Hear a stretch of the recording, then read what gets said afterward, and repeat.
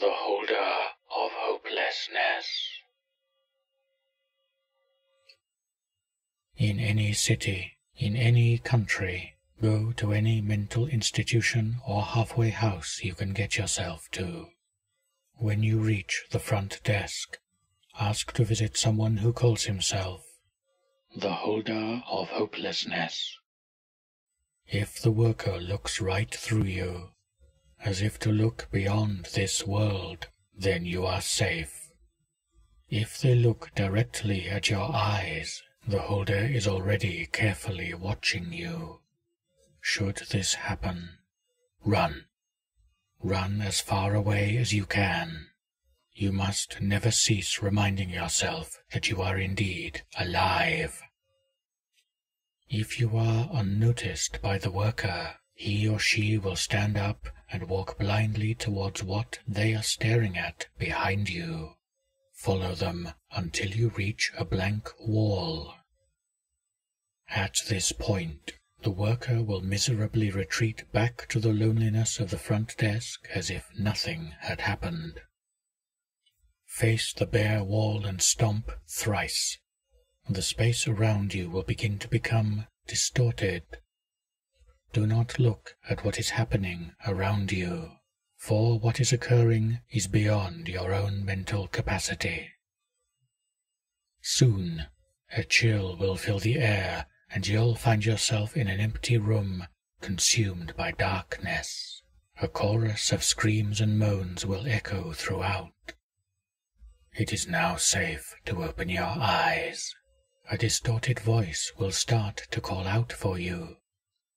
The voice will sound bold, however, a hint of loneliness can be heard amidst its eerie voice.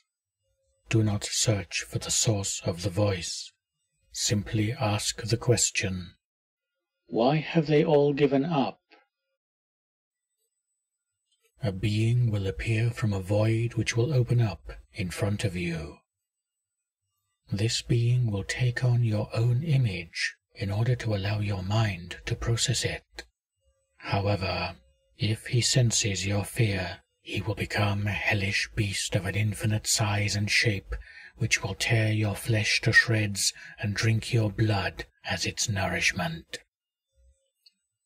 The being of your image will begin to utter words in a language that you cannot understand.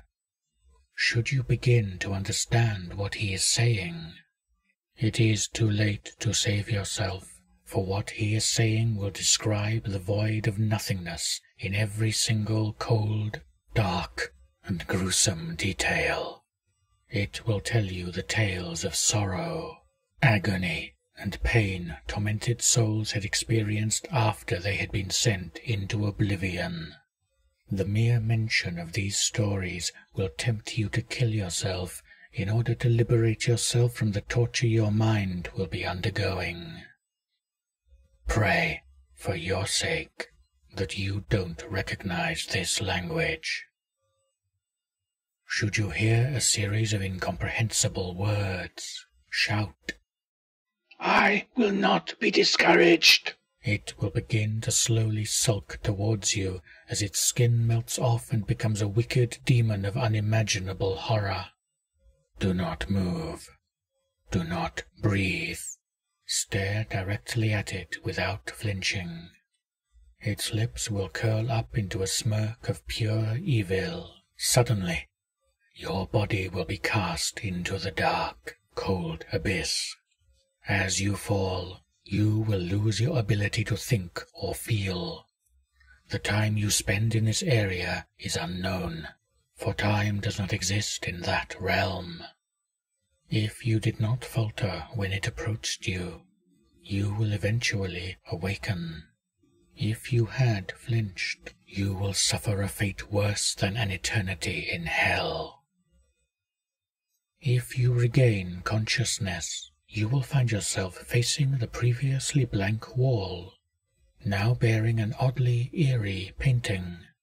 The painting will be of a smiling man, covered in blood, standing amidst a barren land, surrounded by many different accursed objects. This painting will seem familiar, like you have seen it somewhere before. However, something will be slightly askew, as if many things are missing from the picture. As you remove the painting from the wall, a feeling of hopelessness will rush throughout your body. The painting is object 323 of 538. The painting must never be shown to anyone else. Ever.